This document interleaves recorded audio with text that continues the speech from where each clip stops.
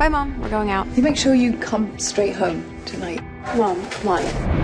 Every day you live your life. You know your mom, she gets like this sometimes. Ordinary, normal.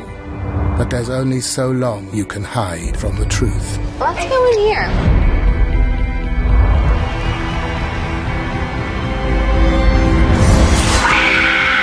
Clary, what is it? You didn't see that?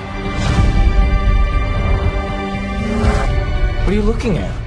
Why can I see you and no one else can? You have an incredible gift, just like your mother. Mom? What the hell was it? It was a demon. Oh god, this isn't happening. I've been killing them for over a third of my life. I don't understand what any of this has to do with my mom. She's part of a world you cannot imagine, Clary. She was trying to protect you. I have to find her. Humanity is on the very brink of extinction.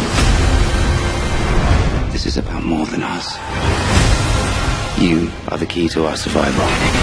The Mortal Instruments. Rated PG 13.